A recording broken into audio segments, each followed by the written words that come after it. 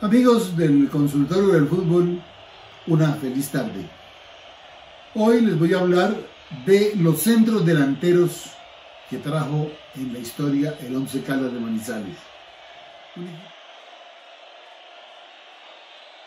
Sin duda.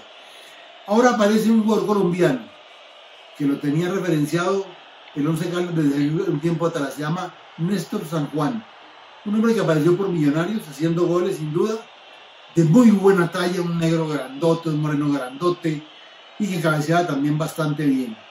Fue dando la talla, el que se ponía el 9 del 11 Caldas hacía goles. Curiosamente, esa es una particularidad del cuadro albo. Viene luego un hombre de la casa, después, con el tiempo, se llama La Fiera Gutiérrez. Ese es un hombre de ahí, de Manizales, medio rechonchito, pero sin duda guapo para jugar al fútbol, con recursos, hábil, y con facilidad para enganchar, para definir. Ahí pasa, y pasa con éxito. Un jugador muy importante, sin duda en algún momento en el 11.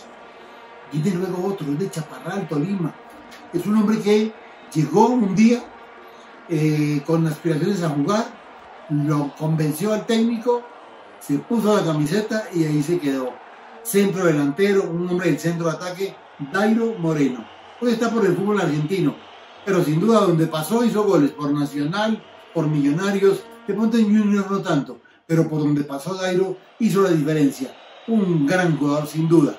Y viene otro, al final, digamos, de su carrera, un hombre pasando así como rápidamente por los nueve del Once Caldas, un hombre que no tenía, digamos, la facha del centro delantero. Uno se supone que el centro delantero era un grandote, un tipo de 1,80, que jugaba con los por arriba muy bien, porque tenía que pelear con los centrales, en fin, apareció Sergio Galván Rey, un jovencito que llegó de Tucumán con muchas ilusiones, casi lo echan porque no le estaba yendo bien, un día hizo cinco goles en un partido y es el único en Colombia que hizo tres veces cinco goles en un solo juego y llegó a 224. Increíble. 160 con el 11 Caldas, es su máximo goleador.